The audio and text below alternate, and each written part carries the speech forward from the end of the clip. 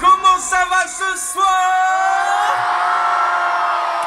bah, Bonsoir à tous, bien sûr vous m'avez reconnu, c'est moi, c'est Shakira.